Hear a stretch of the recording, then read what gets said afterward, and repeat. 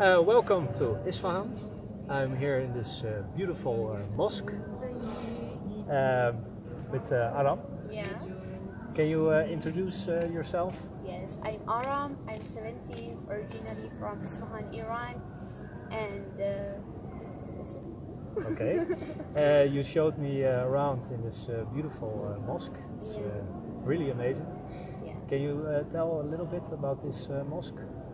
Well, I love this mosque because of reflect, uh, reflected sound. It's the best part, I think. Uh, it has four minarets, and in the past, it belongs to men, and uh, all of these colors made from natural colors. And right now, uh, people is, is, is still uh, praying here, but not inside, just in garden. Okay. Mm, what else? That's uh, that's really good. Um, and you're 17 uh, years old, so you're uh, still going to school. Yes, I am in.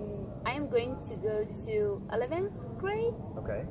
and I have two more years. And after that, I will go to university. But in Iran, we have a hard test to enter to university, and it is about the last three years in high school. So I have to study hard. This is summer, school's off, but I have to go to school and study six hours in a day. Wow. Wow. And um, what's your dream or what's your goal? What do you want to become? Um, I want to study genetic. Uh, if I want to study genetic, uh, I cannot find any job here because in Iran we just have two laboratory, one in Tehran and one in Isfahan, and they have their own employees. So if I want to study genetic, I have to study. I mean, I want to study here till I take my bachelor, and Okay. after that, uh, immigrate another country for study more, take PhD, and find a job. Really ambitious PhD. Wow. so good. Yeah. Yeah, I admire uh, you. You told it uh, before. Uh, you uh, work really hard. You uh, make the best out of your day. That's uh, that's really good because you also have uh, some hobbies. Uh, Yeah. What are your hobbies?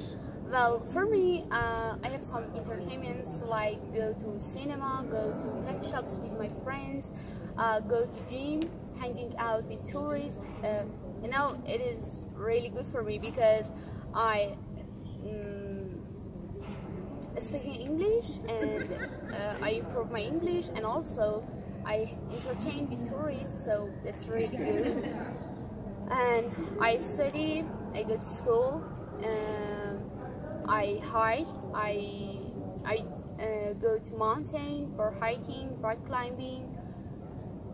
So And you go to the gym to uh, get stronger for the yeah, rock yeah. climbing. Yeah, exactly. yeah, I just Yeah, way.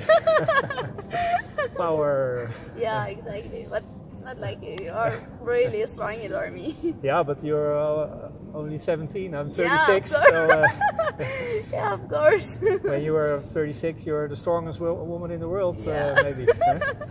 yeah, by not. yeah, yeah. Um, no, that's uh, really nice uh, to hear. Uh, thanks uh, a lot uh, for showing me uh, around. I'm having a really good time.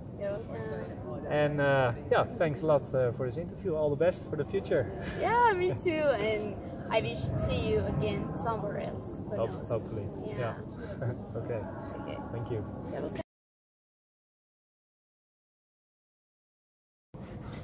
Go ahead. Okay, I want to say something about Iran. I've met many, many tourists, maybe about 50, 60 tourists from different countries, and I always ask them, What did you think about Iran before you come here? And all of them, all of them told me they think Iran is not safe. We are terrorists, or we have a lot of terrorism attack, or if they come here, the government will haggle them or don't let them to come back to their country.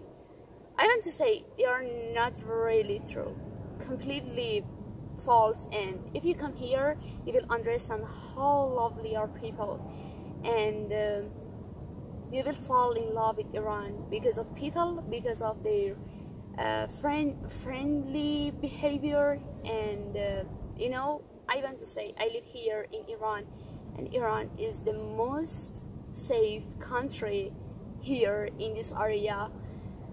And uh, yes we have a lot of problem with our governments with uh, we have a lot of financial problems but uh, we have security Iran is safe and you know, the funniest and the most stupid thing I ever heard is, was from an American person, and he told me he thought uh, we travel by camel, and I cannot imagine, you know, even in Arabia, all of Arabian countries have cars, but I want to say Iran is not developed country, but I hope new generation make it better.